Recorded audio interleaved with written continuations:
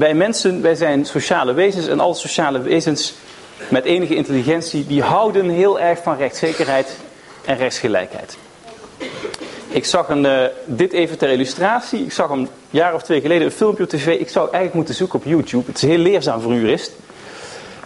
Dat is een experiment met twee chimpansees, hele intelligente apen, die dus erg op ons lijken. Twee van die chimpansees zitten in een kooi. En die leren op zeker moment in die kooi, er zit een knopje of een hendel. Als je op die hendel drukt, dan gaat er een luikje open en komt er een druif uit. En druiven, dat vinden chimpansees heel erg lekker. Dus die chimpansees die leren op een gegeven moment, ik moet op die gele hendel drukken, gaat er een luikje open, krijg ik een druif. Dan zitten er twee chimpansees naast elkaar in een kooi, die kunnen door die kooi de andere chimpansee zien. En wat doet de onderzoeker op een gegeven moment? Nou, eerst laten ze een dag lang af en toe als ze op die knop drukken, komt er een druif uit. En op een zeker moment is er één van beide chimpansees bij wie het als volgt gaat. En die andere chimpansee die kan dat zien vanuit zijn kooi. De gelukkige van de twee chimpansees die drukt weer op de hendel, gaat er een luikje open, komt er een hele tros bananen uit.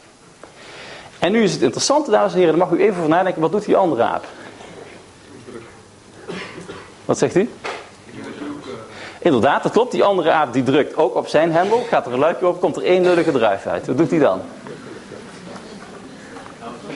Wat zegt u? Hij, hij draait door. Ja, heel goed. U bent, u bent heel goed in contact met de inner ape in u. En dat is een goed ding hoor. Dat is heel goed. Die andere chimpansee, dames en heren, die pakt die druif, die smijt die door zijn kooi heen. Die begint te krijsen en die gaat volgens de rest van de dag mokkend in een hoek zitten.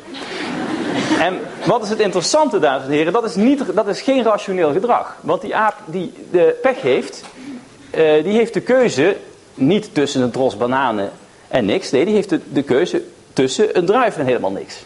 Dus rationeel gedrag is dat ook die aap die dus geen tros bananen krijgt, maar één druif, die heet het op die hendel blijft drukken, zodat hij in ieder geval nog wat lullige druiven krijgt. Maar dat doet hij niet. Hij wil helemaal niks. Die aap die denkt, als het zo moet, als die patser hiernaast een hele tros bananen krijgt, dan laat maar helemaal zitten. Um, waarom vertel ik dit? Nou, om allerlei redenen. Um, uh, omdat ik heel erg gefascineerd ben door de aap. Uh, maar ook door gefascineerd ben door de mens. En volgens mij zegt dit heel veel over hoe wij mensen in elkaar zitten. Wat die aap, en volgens mij lijken we best op zo'n beest. Wat die aap dus heel erg belangrijk vindt, is met name die rechtsgelijkheid. De aap vindt het heel fijn om een druif te krijgen, zolang hij ziet dat de buurman ook een druif krijgt. Maar zolang, zo gauw hij ziet dat hij voor hetzelfde taakje die, die buurman een tros bananen krijgt, wil hij dat ook. En als hij het niet krijgt, dan vindt hij het zo onrechtvaardig dat hij denkt, dan maar liever helemaal niks.